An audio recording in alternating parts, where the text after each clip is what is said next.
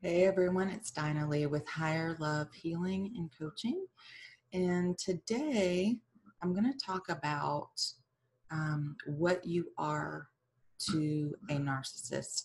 And I'm going to use an analogy today so that the picture is a little bit clearer because when we start giving real um, examples, um, which I do a lot. I'll be telling a lot of stories. I have a lifetime of stories, but sometimes it's easier to understand when we use analogies.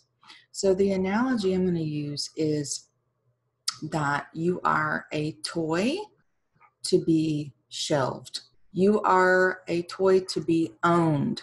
Okay. You are you do not have the right to have your own life. Okay um, they own you.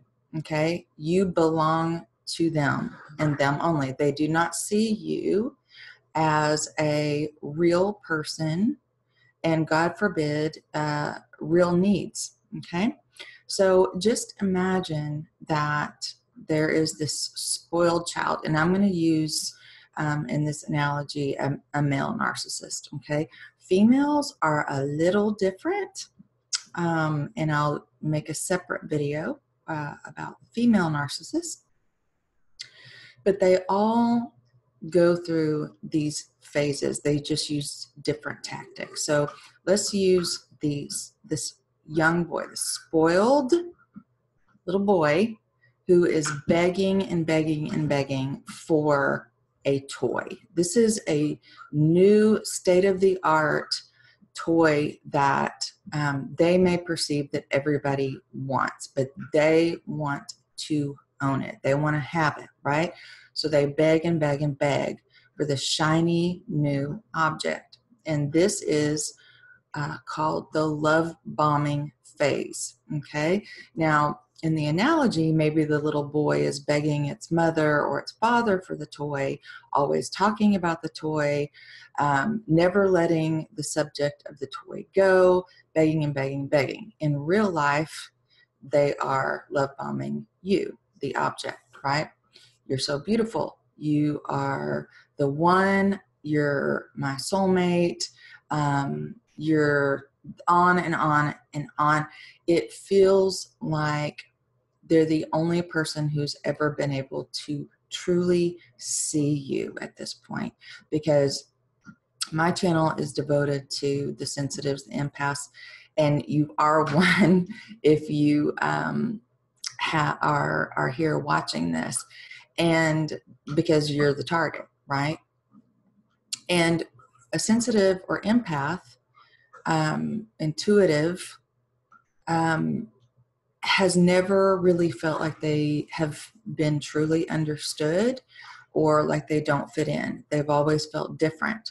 Well, the narcissist comes along and mirrors to you how special you are, how awesome and amazing you are.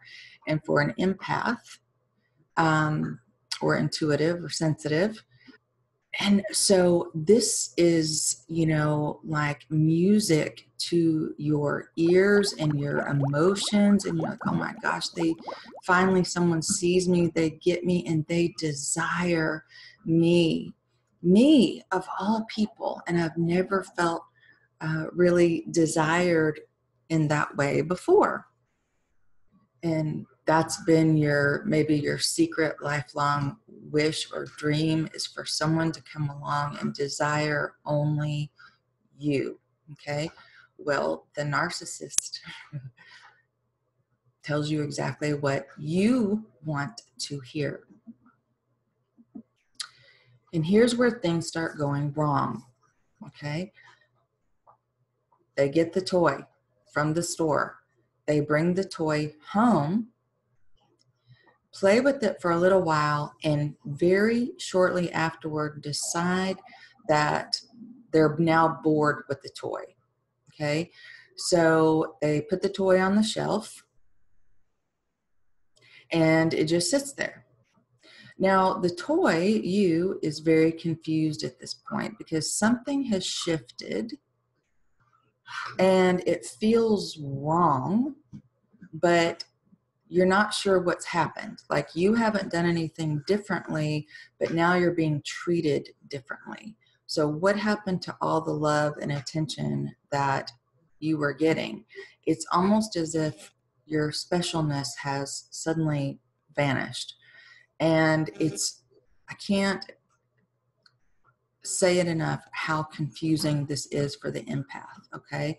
It's like it feels wrong, but you can't pinpoint exactly what's wrong because you're still there with the narcissist. They're in your presence. You can see them, you know, in the room. You're sitting on the shelf, you're observing the narcissist. Maybe they talk to you, you know, but all the love and all the attention is gone. Now, you are not allowed to play with other toys at all. If you play with the other toys, you will be punished. You are not allowed to have toy friends. Okay? Only the narcissist can be your friend.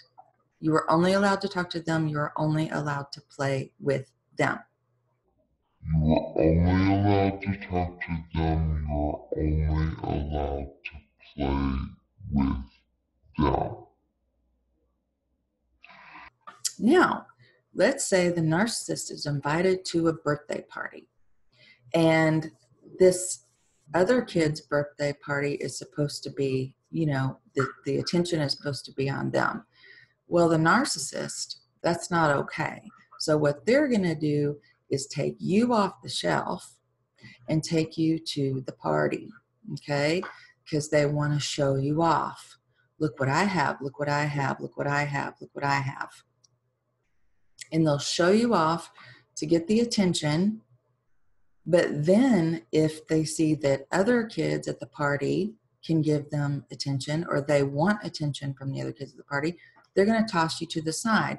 You're going to be ignored for the rest of the party. Okay? While they run off and play and I'll give you a real life example of what this would look like. So, long time ago, 27 or so years ago, when I was dating my first husband, we had had an argument and I had gone to spend the night at my father's house. And um, he begged and begged and begged and begged and begged. He called the house, my father's house, begged and begged and begged and begged, begged for me to to let him pick me up. I didn't have my own car at that time. Um, and to come out with him and he was going to make it up to me and he loved me and just you know even tears on the phone how sorry he was and so i was like young okay I w- I don't even think i was 20 yet and so I gave in. I let him come pick me up. And he took me to his fraternity house because there was a get together there. And um, I have always been an introvert, I've always been more quiet. You know, uh, I like more intimate conversations. And so I didn't I didn't know a lot of people there. And so what he did was he's unbelievable how I never saw this stuff before. Okay. Um, so what he did was he had me go sit on the sofa while he started playing pool with this other girl and drinking and just getting silly and ignored me the entire time and the whole time was giving attention to her, laughing with her, telling her jokes, giving her compliments. And that's what they do. This happened multiple times throughout our marriage. Our marriage didn't change a thing.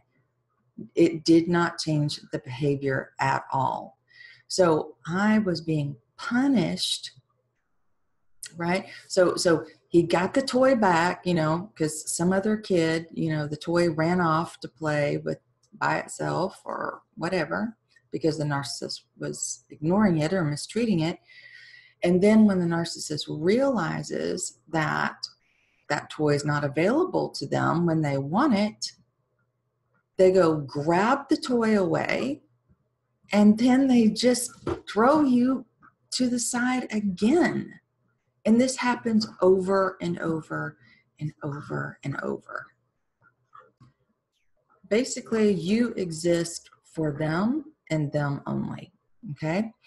You are something to be owned and you have no rights. All right? And if you don't play by their rules, you will be punished. That's basically what it looks like. Now, when they shelve you or ignore you, this is called the devaluation phase. Okay. And this can be complicated. This can be direct, you know, where they put you on the shelf because they want you all to themselves and they want you by yourself. Okay.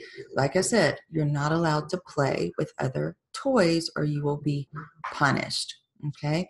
So, another way this is played out in my life is let's say NARC wants to take you out.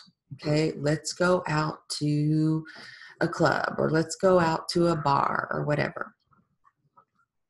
Come on, toy, get dressed up, look pretty, let's go to a bar. Well, one of the toy's friends shows up at the bar. Surprise!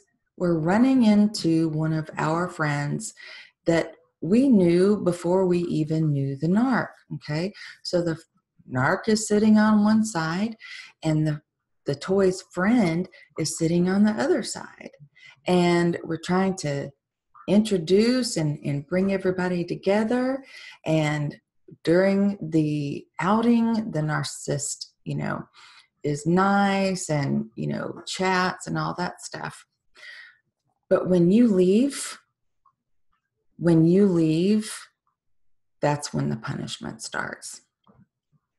Um, they may drive recklessly. They may start screaming at you nonstop for all the things that you did wrong because you were giving your attention to another toy, something other than them.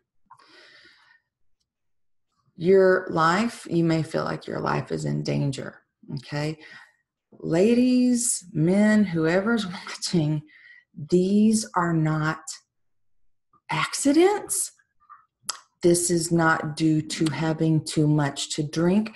I'm telling you because these are the things that I kept telling myself. That was just a one time incident, or they just were having a bad night, or um, you know, they had too much to drink, or maybe they had a, a drug um, reaction, maybe alcohol, and did they take something else that caused them? No, this is narcissistic abuse. Stop making excuses, see it for what it truly is, okay, and get out of it. Quit talking yourself out of, of leaving or breaking up or whatever it is. Stop telling yourself lies, stop making excuses, stop over analyzing what's happened, trying to come up with an answer. It's just going to get worse. Okay. It's just going to get worse and worse and worse. This is, uh, it is abuse. This is the devaluation phase.